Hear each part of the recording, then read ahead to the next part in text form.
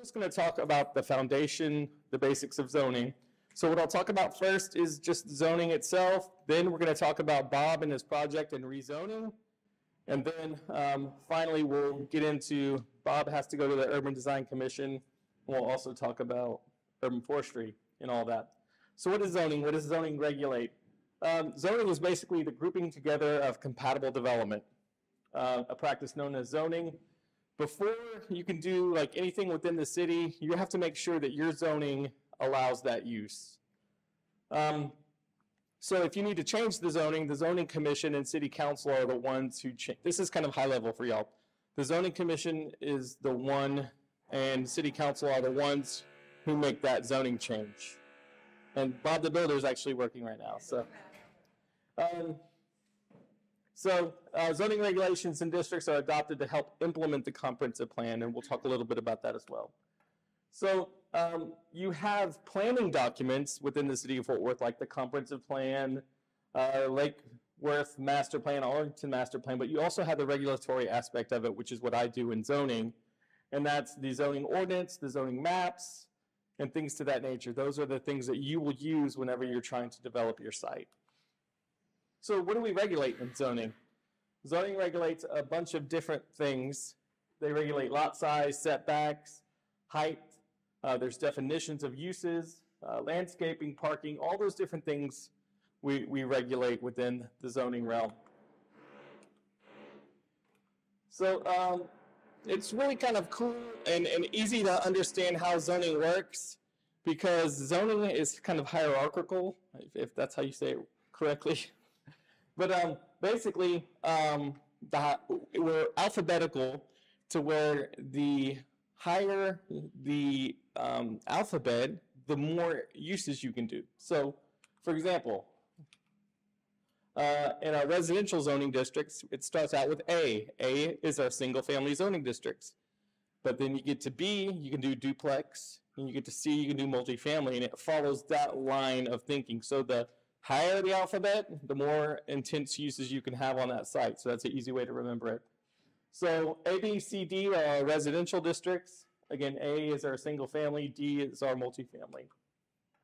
Then you have our commercial districts. You have E, F, and G. Uh, again, E is our neighborhood. G is what you would find maybe near uh, a freeway or something to that nature. And just so you know, um, in G zoning, all, you can do all uses in E and F. So that's that's pretty um, neat. So and then you have your industrial districts. You have your I, J, and K. Is our lighter industrial, K is our heavy, J is in, in the medium. Then you have what Bob has. He has he wants to go to a mixed use district. Now our mixed use districts are kind of cool because they allow both residential and commercial uses, hence the mixed use.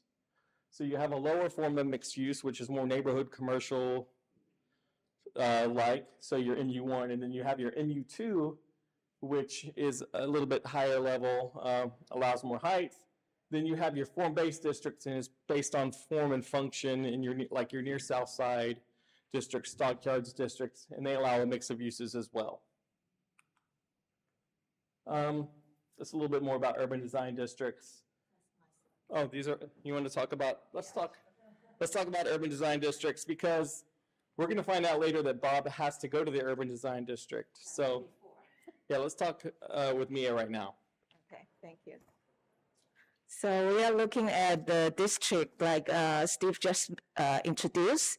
So on the left side, that's a form-based code. So these are the district that use form-based code. So on the right-hand side, you will see that uh, each uh, each district has its own unique code. So you have to apply for the district and uh, looking for what uh, COA that you need to apply for. So there are several conditions that you need a COA before you get, go to the permit. So these are the several of them, but uh, I read the ones on the uh, application form. So first one, you, when you construct a new structure, and second one, you, uh, you do an expansion of an existing structure. And uh, third, you can, uh, when you do an alteration of the exterior of an existing structure, And fourth, you construct of a surface parking lot. And uh, fifth, you construct a sidewalk or other roadside improvements within a public right of way. And last one, when you uh, install a permanent uh, signage.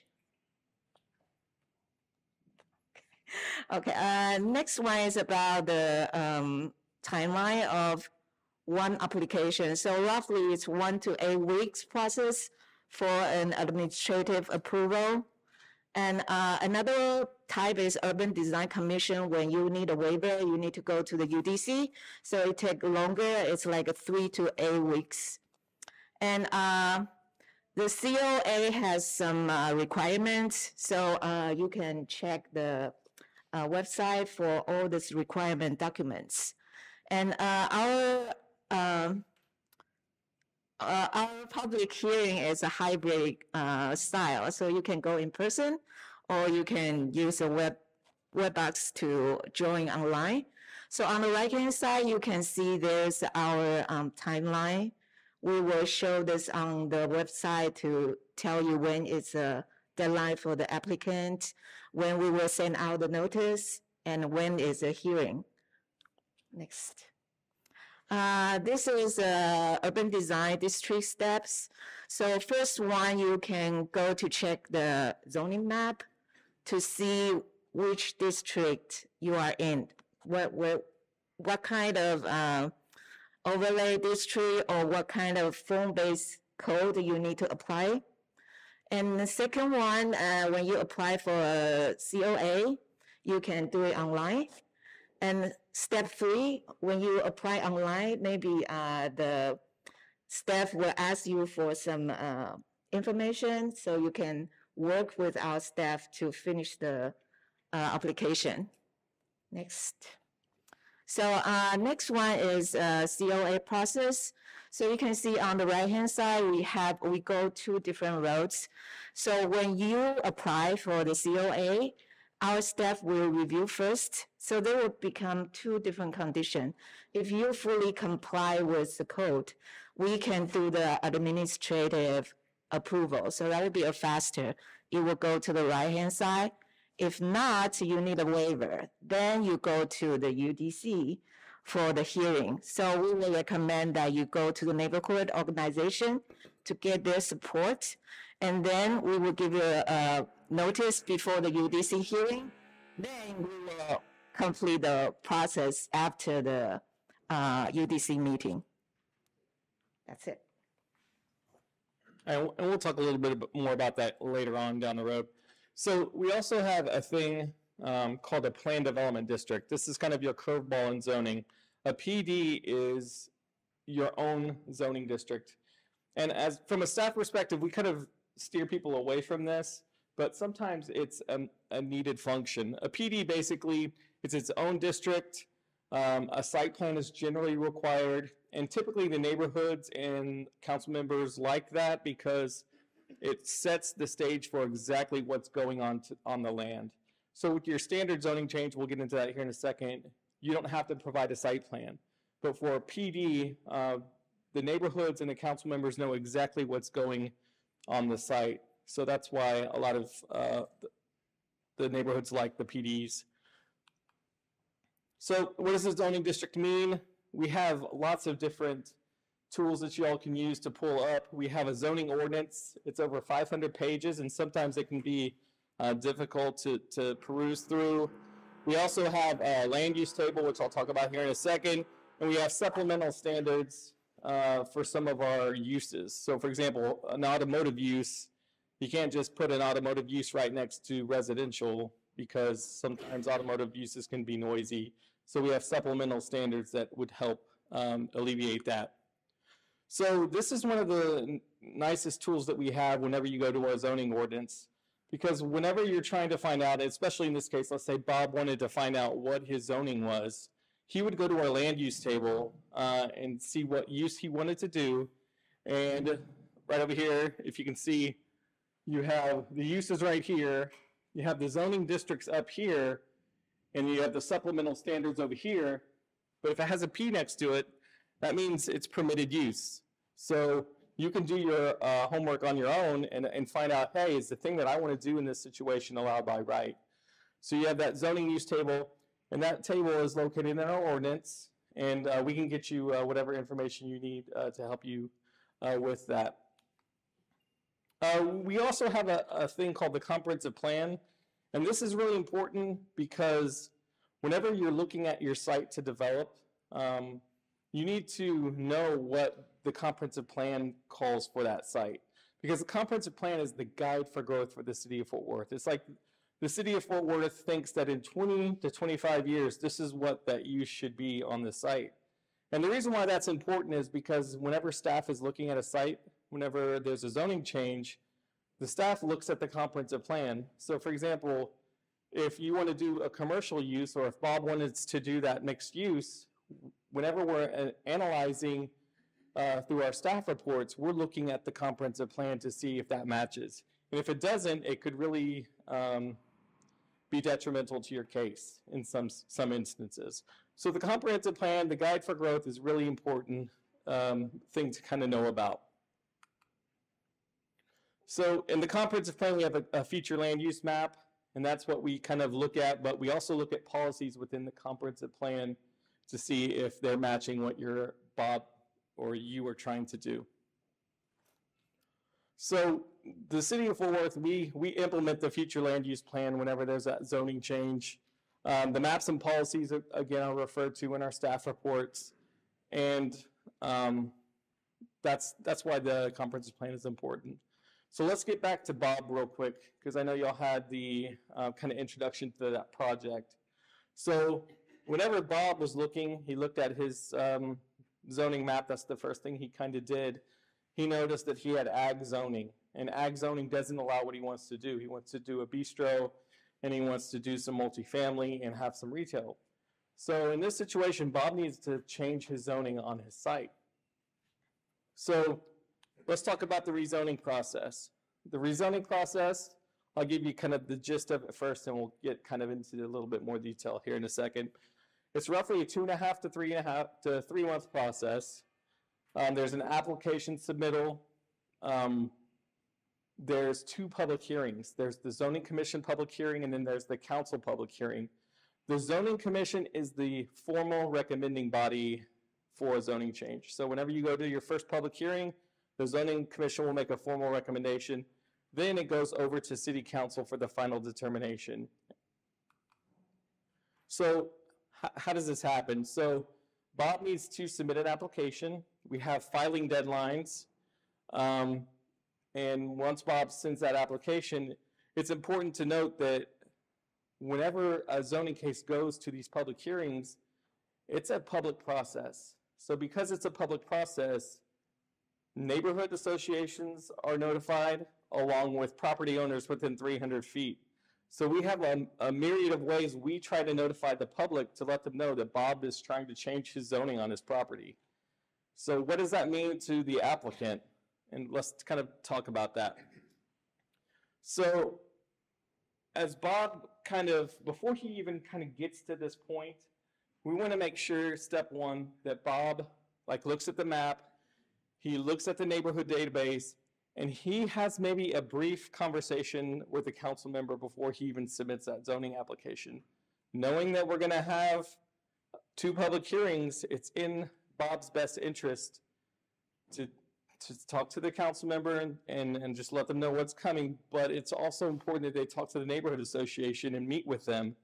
Because when it gets to the public hearing process, we often find that the applicant hasn't even reached out to the neighborhood association, and the neighborhood associations are saying they, they haven't even talked to us. And we've notified them that there's a zoning change, and it just doesn't look good on the applicant if you haven't reached out to the neighborhood associations or, or the council member to let them know that you're about to submit a zoning case. So that's a helpful tip. Um, if you get anything out of this discussion, if you're coming here with a zoning change, talk to those neighborhoods, talk to that council member before you submit that uh, application. Uh, so once you submit your zoning application, again, we talked about the zoning commission um, and city council, but you need to provide a description of what you're doing because sometimes like, let's say Bob submits a zoning application, he may just say mixed use on there. But the more information y'all provide on that zoning application, the more information gets put into the staff report, which helps um, the zoning commission, city council understand what you're trying to do on that property. Because, uh, as we'll see here in a second, you, you'll only have a little bit of time to present your case at the zoning commission and city council. So the more information you provide up front, the more information that gets into that staff report that the zoning commission can read prior to the public hearing. So please uh, fill out your descriptions if you're coming in. That's what Bob needs to do in this situation. So for the zoning commission, that's your first public hearing that we kind of briefly mentioned. Uh, we prepare a staff report. We're looking at the comprehensive plan. Staff is looking at surrounding land uses. And then staff is making a preliminary recommendation in this situation. Now, we get this a lot, but sometimes our recommendation, the applicant is really mad that the staff has made a recommendation for something.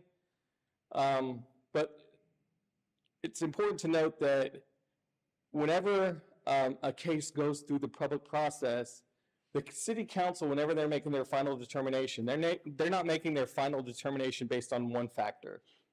So there's a myriad of factors they're making their final determination on. They're looking at our staff report, which is just one.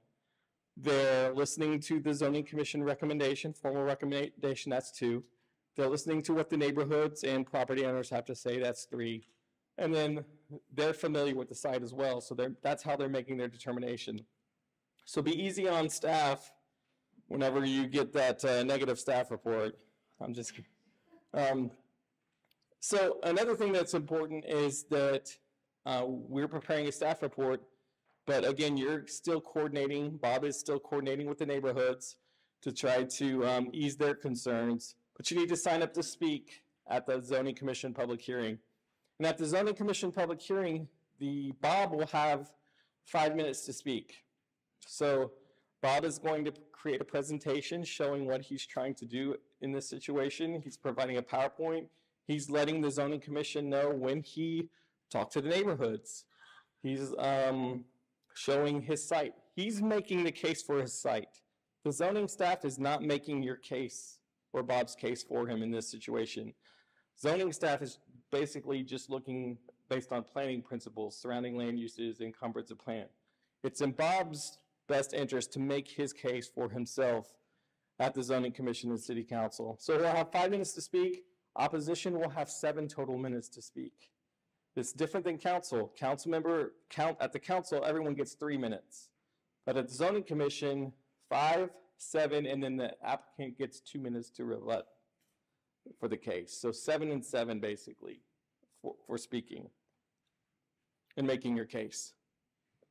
So the next time, uh, after the zoning commission makes a recommendation, it doesn't matter really what the recommendation is in this situation. So if the council recommends denial, it still moves over to council. It's just a recommendation. We get a lot of um, folks say, hey, zoning commission denied my case, do I still move forward? And the answer is yes, you still move forward to council because council can, can, makes the final determination. And then at, at council, again, your presentation, if you've provided it to us, we'll have it for you. There, you'll have three minutes to speak, and whoever signs up to speak will have three minutes to speak, which is different.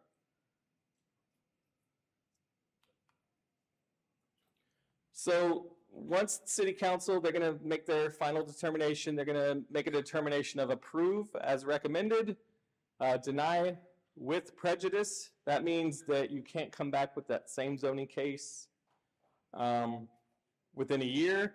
Deny without prejudice, that means you can come back next month with a different case, or with the same case, excuse me. They may continue the case, which means that it comes back next month or next week, or they may return, um, remand it back to the zoning commission, which doesn't happen too often. So it's important to understand who we notify because, again, this is a public hearing process. And if you don't do your homework beforehand, like I had mentioned before, you're, uh, you may have uh, trouble at zoning commission and city council. So we notify property owners within 300 feet. We use um, something that looks just kind of like this. It shows where the map is. It has the basic information on the bottom of what the applicant is proposing to do.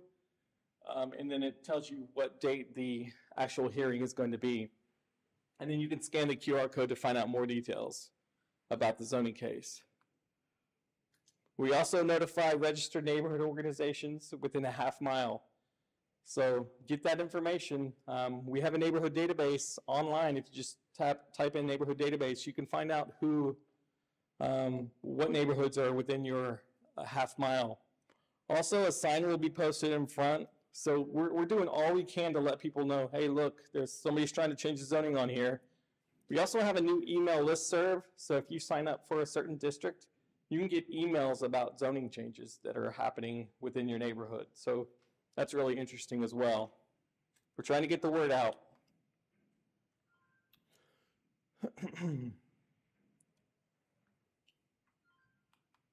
Okay, uh, we also have um, information on our zoning um, on our uh, online, which is kind of the as quickly as possible. We try to put the zoning cases up on our maps, and it just has the basic information. But this helps neighborhoods and property owners and everyone know what what's happening within their area. That's kind of a new thing that we've instituted as well. Already talked about the um, listserv. So if you're a citizen here and you get a notification that Bob is trying to rezone his property, you have a couple of options as well. You, you understand that there is a zoning commission meeting that's going to happen and they're making a recommendation. You also have city council. So it's in your best interest if you're for it or opposed to it to provide input to us about the zoning case. This is a very democratic process. You have a chance to speak on behalf of your neighborhood or you as a property owner next to the zoning case. So we ask that you provide a couple of different things. You either show up to the meeting and uh, present your opposition or support for the case, or you can email us, because what happens is we take all the correspondence that we receive for a zoning case and we put it into a folder for the zoning commissioners and the city council members so they can see that correspondence. So please send us your correspondence and then please provide specific reasons why you're supporting or opposing the case if you're a neighbor, especially if you're um, not in support of Bob trying to do some multifamily or mixed use in the area. So there's tons of different resources Bob can use or you can use as a neighbor. Um, we have that zoning map, we have our uh, ordinance, we have the story map that we talked about. You can watch hearings online. So we're trying, again, we're trying to get the word out about this zoning change. So um, let's swing back to Bob a little bit. We, we already know kind of what he's trying to do. 10,000 foot square foot restaurant with some uh, commercial on the bottom. Uh, so Bob has a few things that he needs to understand before he even, let's say Bob gets his approval for his zoning. He's got to understand there's some development standards that he's got to adhere to in order to get exactly what he wants. So for example, there's setbacks along frontages. So in Bob's case, he's got to make sure that there's a maximum of 20 foot setback. He can't go any further than 20 feet. He's got to push that building close to the street. That's one thing he's got to realize. Also, parking may be an issue in this situation for Bob. Um, there's one space per 100 square feet for restaurants, and then there's multifamily parking requirements as well. So Bob needs to understand that there's parking requirements, setback requirements. Um, if he's close to residential, there's a residential height plane that takes effect. There's a buffer yard and screening next to residential, so that may impact his site as well. It may reduce the size of his building. Uh, it may push back the second story. So all these things he needs to understand before he gets to the building permit process. So also, there's street trees and headlights in MU, so he's got to account for that. There's IPRC right down this down the road talking about um, the infrastructure plan review process.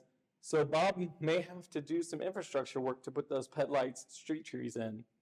There's also landscaping, and parking. There's facade variation, fenestration. All these different things Bob needs to realize uh, before he develops his site that he has to do.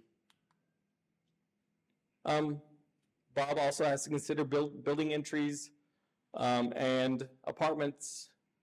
They need to provide uh, primary entrances. uh, along the roads or along the um, building frontage. So all those things Bob needs to do uh, prior to submitting his building permit. So Bob also has urban forestry requirements. And we'll let, Sure. you want to clicker? Uh, sure, there's only a couple, thanks. Uh, yeah, so I'm Mary Wells, as, as uh, we said earlier. So I am going to talk to you a little bit about urban forestry and what that uh, means for Bob and his MU district. So first of all, the urban forestry management section, um, it, we manage the urban forest, meaning any trees on private land.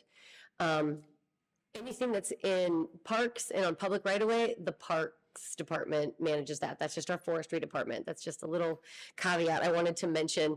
Uh, now we do, as Stephen mentioned, we do regulate people putting in the street trees. Those go in the right of way. Those are managed by the Parks Department. I don't want to get in the weeds on that. I'm just saying, in general, for Bob's site on his two acres, it's a privately owned land and that has to come through us. You can't just go mow down all your trees just because you own the land.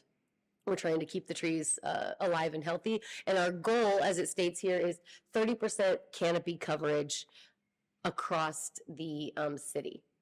So there are two requirements in that. That means preservation and new canopy coverage, which means planting. So those are the two ways you can get your canopy coverage. So if we go back and talk about Bob real quick on his MU, um, in his MU district.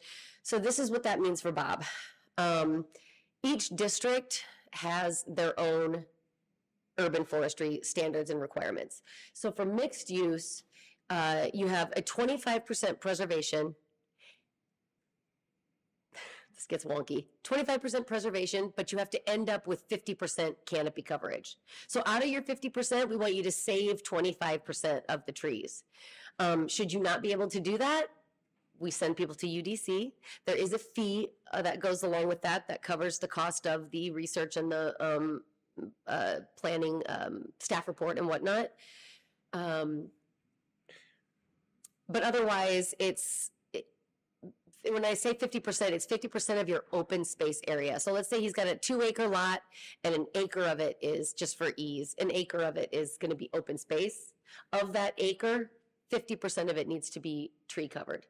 Um, the math in it all is a little bit uh, intense. So we have a staff that's been doing it and they are great. You are welcome to um, call us or pop in with anything that you have and we're, we'll go over your, the numbers of it all.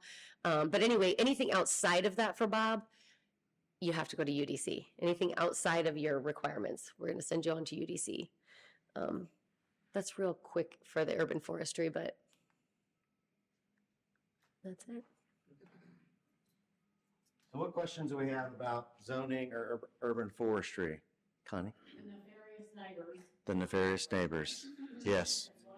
Yes. We've all experienced it, and I know a number of developers who have literally hired professional people at a very high cost to deal with uh, that, those groups that. Public relations. Because they're, they don't understand what you're doing and. Mhm.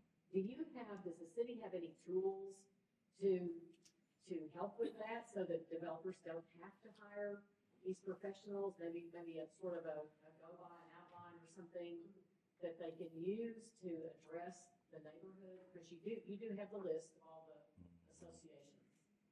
Yeah, um, from a zoning perspective, we don't have anything online that kind of point, we could probably create something like that. That's probably a really good idea. To, Because, you know, a lot of small developers do have a wherewithal to Mhm. you know, all these high-level people that lead, all- can lead all these things, have done this before, and they know how to handle the, the- the emotions, and, it- they can be really nasty. sure. I've been in one before, I had to wear my bulletproof bra. No, that's a, that's a good idea. Uh, whenever we have our discussions with the applicant, um, because most of the time, uh, as their case is coming in, they're assigned a case manager, so the case manager kind of discusses this with them. Or prior to, during a PDC or something like that, we let them know that the neighborhood is important to dis- to discuss what you're proposing. Um, And we also just talk about surrounding land uses in the comprehensive plan because sometimes what the applicant is proposing is off base and the neighborhoods are right. But in some situations, the neighborhoods can be um, off base as well. But in this situation, I, I will say this, we have a very um, good zoning commission and city council that can pick up on the times when the neighborhood associations aren't playing nice. They're pretty savvy, especially our zoning commission and city council, and they kind of understand, you know, the broader uh, aspect of the zoning case. And again, and I mentioned this a little bit um, earlier, but um, the zoning commission and city council are, are looking at all of the factors, not ju- the neighborhood is one of the many factors that they're listening to whenever they're making that zoning They'll say, oh, it hits the buttons on everything else. And then when is a good time? I would think that a developer needs to be proactive and not have any signs posted yet or anything, and, right? Because then they feel like they, they're ambushed. You don't want that. That. That's correct. No, um, it's important, maybe, um, a month or two weeks prior to even submitting that application, we have an application deadline to hit up the neighborhood associations and just let them know, this is what we're thinking. Because as a developer, you want to kind of know what you're getting into prior to submitting that zoning application. So it's kind of like a mini fatal flaw analysis. I think it's really gotta take place during due diligence. You gotta be way ahead of that, even, Really even do. more than two months Well, a before. lot of these things, you really should be doing a little bit of a forty-five land. Right, right. because This is pre-development due diligence. There You've, may not be infrastructure, there's a lot of things that you need to check out before you can buy property. correct. So I got a question. What is the benefit, benefit of having the city council remand back to the zoning commission on a case? I mean, I would say it happens zero point one percent of the time, but um, maybe they feel that the zoning commission didn't get all the facts of the case.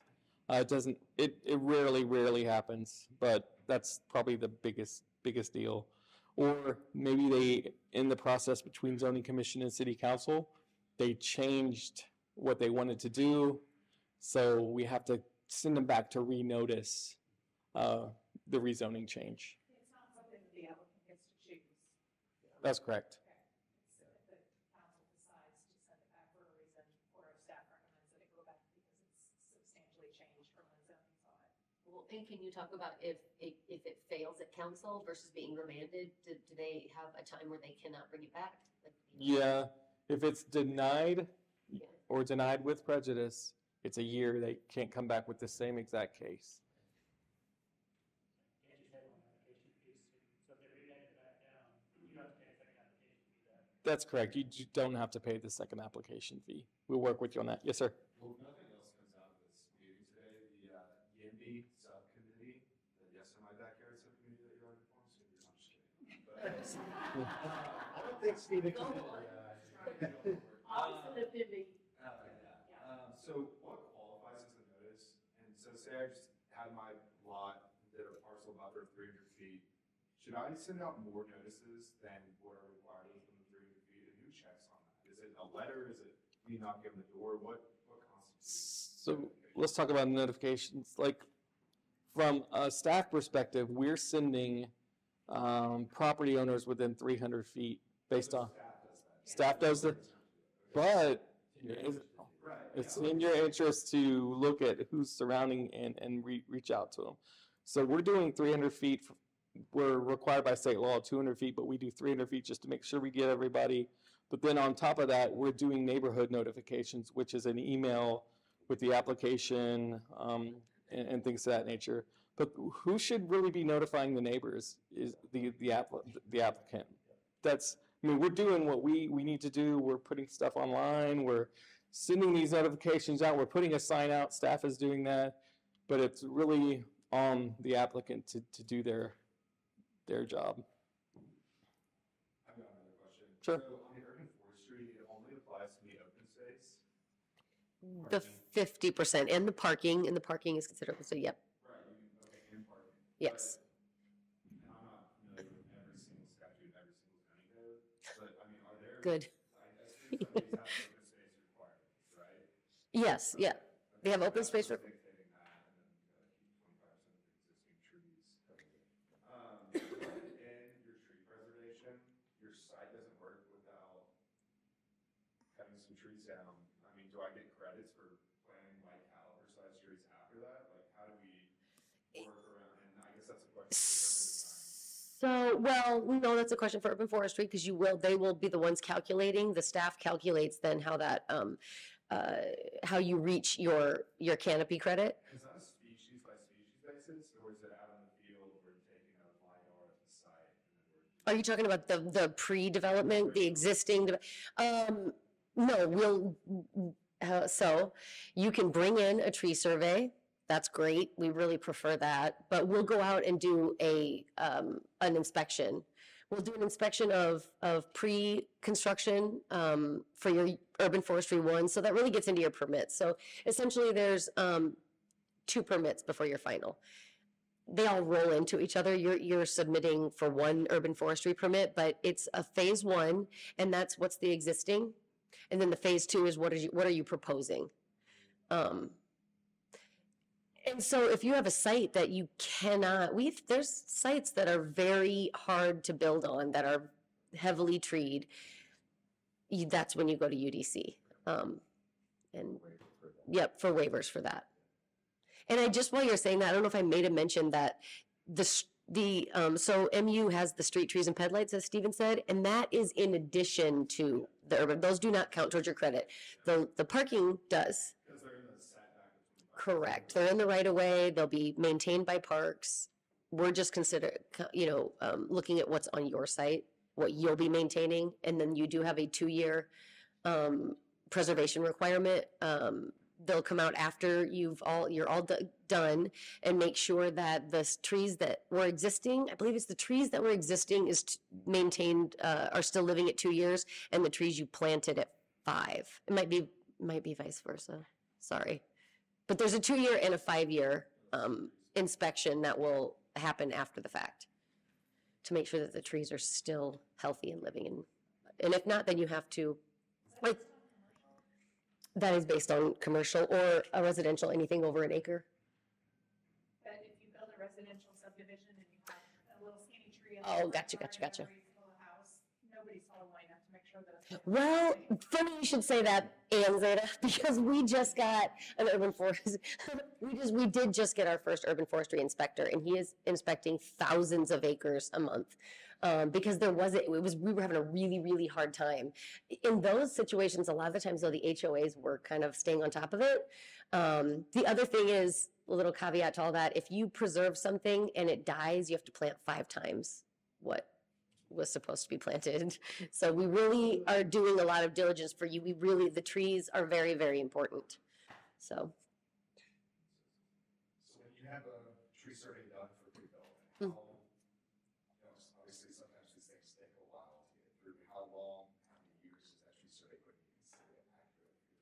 Oh, that's a really good question. I'm not really sure, but I'll get your contact and I'll let you know. I'm, I'm gonna have to ask staff how long a tree survey is, is, know some cities, it's you know, somewhere, they don't want to see as many as five years, they'll be considered accurate, but I don't know. If it's, any older than eighteen months, then that's not yeah, five years seems excessive to me, but I don't know that answer and I'll get it for you, for sure. Could we move trees if needed? If there's existing trees already and it's in the way of the building, can we just like take it up? Pick them up and move, it. we would love it if you would pick it up and move the tree. That would be fantastic versus, yeah, it- yeah, that'd be great. Yeah, that's definitely an option. As long as you're meeting that canopy coverage. Yep. Yep. Yeah. So you guys talked about, uh, greenfield zone changes. What about if it's on an existing building? You know, is it, you don't meet the parking requirements or you don't meet the accessibility or tree coverage anymore? Is like a whole new process again, even it's an existing building? You can only get the zone change until you do those stuff, like, So in, in your scenario, they would probably already have the zoning allowed. Let's, let's go that route first, okay? So let's say they do have MU and they're doing an infill development, existing building. They're already platted, then they can go straight to building permit. And then whenever they get to building permit, as staff is reviewing, they're gonna find out, oh, they don't meet parking, they don't meet this and, and that as they're going through that process. So that's when the UDC, Urban Design Commission, and possibly Board of Adjustment comes into effect. So if you don't meet like certain requirements, you would go to the Urban Design Commission to request a waiver. Hmm, Okay. So if you have an existing church and you want to make it into a restaurant, right? Does that still apply to that scenario?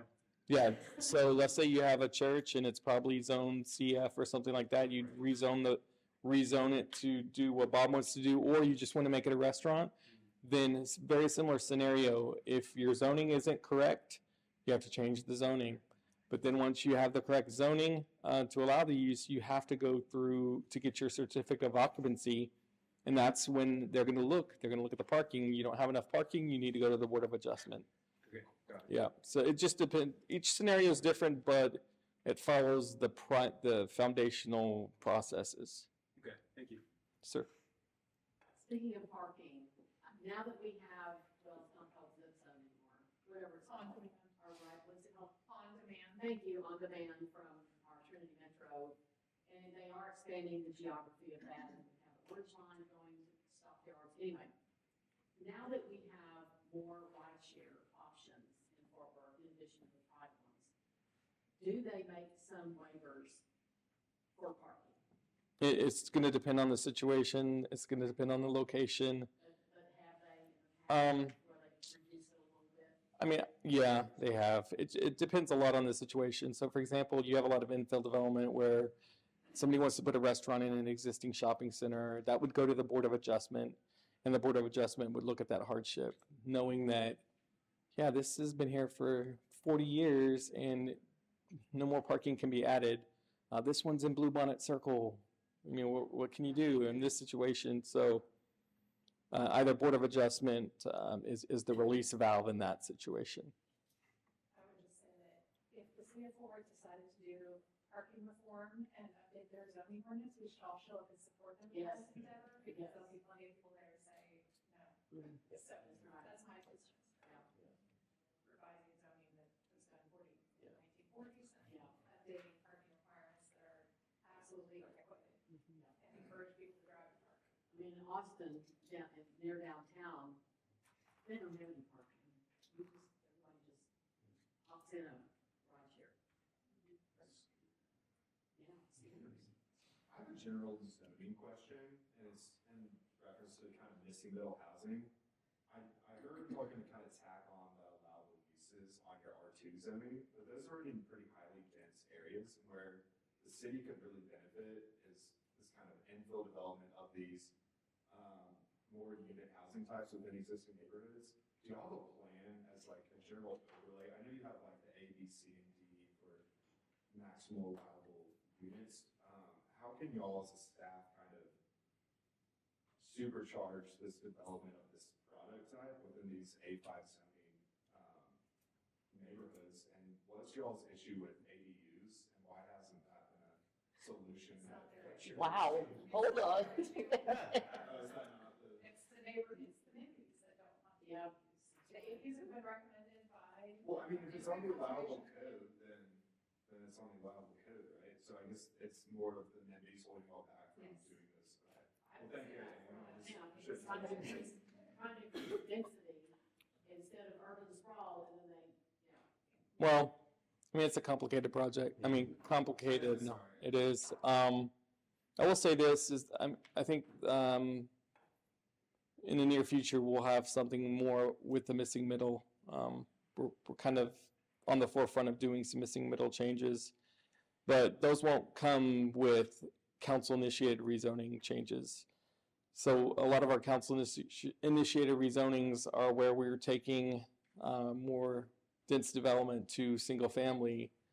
Um, so what you will see is probably an ordinance amendment that gives the developer the tools to rezone property to these new missing middle housing typologies, as opposed to wholesale rezonings of areas. And that, that's the near term. You may see that in the latter half. So it sounds like you're you're gonna expedite the process if I have a lot and I wanna move it to a higher density use. And you'll kind of have a process, it's like, okay, taking this lot in a single family to like a fourplex or a cottage court or eightplex, whatever missing middle product you want in there, but it kind of just speeds that process up. It wouldn't speed it up. What we would do is provide more clear, better tools for the developer to use and to seek whenever they're going to the rezoning process. And then I will say this, uh, we kind of uh, briefly talked about the comprehensive plan and how that's the guide for growth. Well, the comprehensive plan really hasn't been updated, updated in a while. And now it's in the process of getting updated. So I think we'll see a lot of, it, it's hard uh, from a staff perspective um, and zoning commission perspective to look at a, an area from the comprehensive plan perspective that's zoned A5 with future land use of A5 and say, let's allow multifamily in this location because it kind of has three strikes against it, land use, comprehensive plan. But with the comprehensive plan update, that allows us a little bit more leeway to recommend approval for certain kinds of projects. And then on the other hand, you will have hopefully in the near future, uh, not rezoning, but um, ordinance updates. So combining those two will hopefully help the developer out. Yeah, they're coming back with the infill ordinance. and Mhm. do that. Right. So That's coming real soon. So it's it's on our minds, and we're definitely doing things to try to push it that way. So, but we do. It's it's um. I wouldn't say it's an uphill battle, but I will say that uh, we've got a lot of we've got to consider not just the developer aspect. We also got to consider the neighborhoods and what the council members' wishes are in these situations.